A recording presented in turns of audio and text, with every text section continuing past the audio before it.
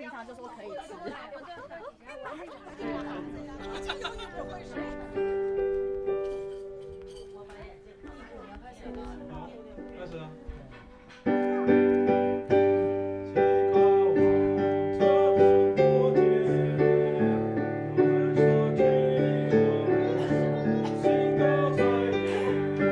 我在中国的时候参加合唱团嘛，我那个时候参加合唱团，我也是很狂热的。我们合唱团特别紧密，大家都很狂热。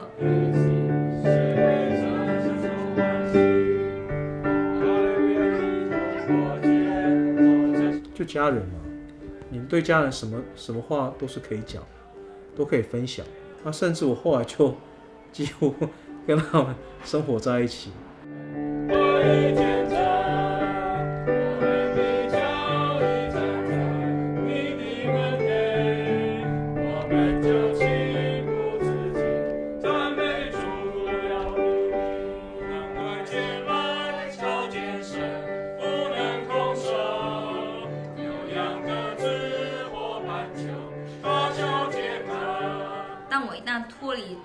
唱团之后，我在看这个东西，其实合唱团本身的意义，它就像一个把人们聚在一起的目标。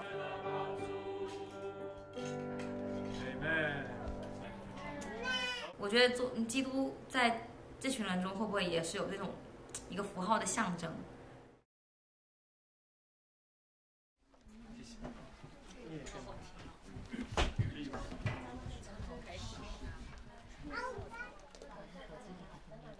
我们读那个《使徒行传》啊，《使徒行传》三百六十三页。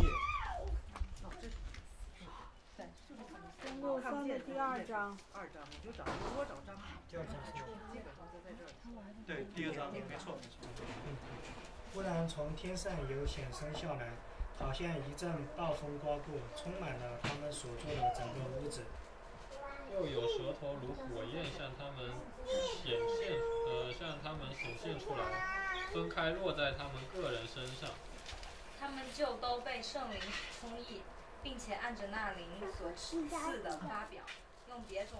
我觉得就是你做一件事情跟你认同一件事情就是两码事，你可以分开。我做这件事情，我读圣经，但是我并没有接受他讲的这部分内容。以奈的吕波亚一带地方的人，以及旅居的罗马人，节里所应许在圣灵里的进。四四三，这是一个特别的词，特意来选来指明清晰高声的发言。Vincent 文声，十六八节的本地话，门徒是加利利人，竟说起各国不同的本地话，就是那些从世界他是一个 kind of scientist 这种人。我问过他对宗教和信仰有什么想法，二章五，他的想法是没有想法。这些虔诚的犹太人从散居之地来到耶路撒冷过五旬节。十周初一之感谢犹太第一个就是那一个呃逾越节，哦，逾越节是为了纪念他们当初啊，只有晚上的时候，我就，有时候我也不知道怎么祷告，我就说，如果你是真神哦，他们有的东西啊，我也想有。隔天早上起来的时候，我就发觉喜乐一种从我里面深处流出来，这感觉实在太好了。哦所以如果只有一个人带的话，这个就是我第一次接触到神的经历。等一下我们我们会就读就是读这一段，哦，跟羊啊羊的牛啊，全带来耶路撒冷做什么？大家一起吃，是有点像我们刚才那样子。对。所以基督徒的聚会啊，就像过节一样。那那一天呢、啊，我后来我母亲跟我妹妹也起床了啊，那我那时候就第一次跟人传福音。那我传福音第一句话就说：这世界上真的有神。丰收节，他们家宗教是什么？我个人的定义哈是封建王朝或者再更早一些时代，啊，上位者用来统治底层人民的一个工具。都要在这一周，要收割完成。那这个在基督徒是什么时候发生呢？就是当基督来了之后的一千年，那个要作为那个的丰收。啊。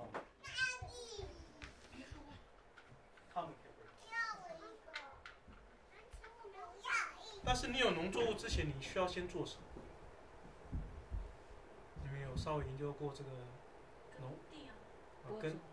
哎，对，要播种哦，耕地，耕地是要干嘛？耕地是为了松土嘛，对不对？你土太硬，种子没办法生根嘛，对不对？哦，然后 他们这时候就享受他们所丰 丰收的食物啊，所以呢，这个就是基督徒最终的目标啊。所以呢，第一个基督徒需要什么？你需要接受基督为你死。啊，如果你接受这个，感谢主，你是一个基督徒了啊。哦，第二个呢，你需要怎么样？你需要被纳灵浇灌。是呢，那你今天你要怎么经历那一个呢？小飞，怎么经历知道吗？就是受尽。因为呢，当你受尽的时候啊，你是进入神的国，进入神的召会。哦，所以你如果受尽呢，过召会生活，你就享受第二个节气。但是呢，如果你像丽丽讲，就是说你需要成为那一个成熟的果子，得胜者哦。所以圣经里面有讲到得胜者，得胜者就是那些被丰收哦，在地上被丰收的那批庄稼哦，这些都是得胜者。所以很简单，对不对？基督徒召会的历程就是这样子而已。你把它想成农作物，就很好很好理解。第一个，你需要接受主做你的救主。第二个，你需要接受他，啊，你要受尽，经历这五旬节，进入他的身体。第三个，你需要达到成熟，你需要做得胜者，那你就需要经历这最第三个节气，就是这个丰收节，啊，所以就就那么简单。那张庆，你你经历到哪里了？错，你还没有经历到第二个跟第三个。赶快进到。觉得我是一个无神论、无信仰者，就是我所信仰的事情就是。我不知道那个是不是算马克思主义信仰，但我所信仰的就是，我应该要自己努力，然后 make a little difference。如果今天你像在这边，你听这些话，你觉得没什么感觉，那你就需要祷告主啊，松我的心，哦，叫这个话能够让我有感觉，哦，那你现在那有些人的确有兴趣，那这些人我们就特地为他们祷告。通常我们祷告啊。可以使这个人啊，心向神敞开。教会的这群人给了我他们的爱嘛，相当于是他们的关怀。那我以我的尊重来回报他们。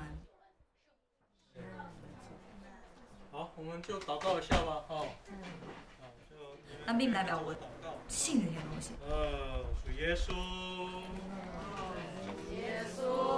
稣。耶稣。主耶稣。啊，谢谢你。哇，谢谢你！啊，你渴望与人过节。